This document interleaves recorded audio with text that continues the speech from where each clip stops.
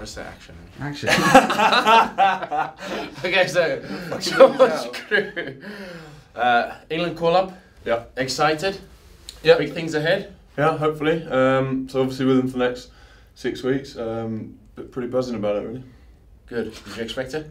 Uh, I didn't actually. Well, I didn't. I'd, I'd hoped for it, but Yeah. um, obviously there's there's two injuries to Parling and uh, and Slater who are both you know very good players. So I I was a little quite happy when obviously when I got it, but What's the biggest game you're looking forward to in those in that six weeks? well I've just got to, I've got to get picked first. So that's uh, Okay, if you main get picked, if you get picked. Just got to get picked first. Okay. Very Good humble. Very humble. Yeah. Nah, just So, Power, rumour has it you dyed your hair again. yeah.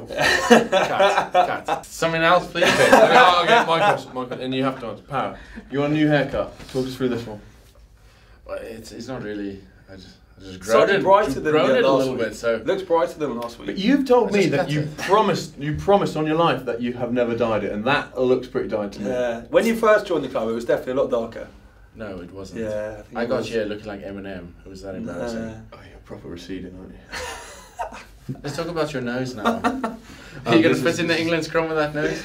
So Will never won away at Munster. Um, are you looking forward to it? Yeah, it's going to be a huge game. Um, their atmosphere at Park sort of world renowned.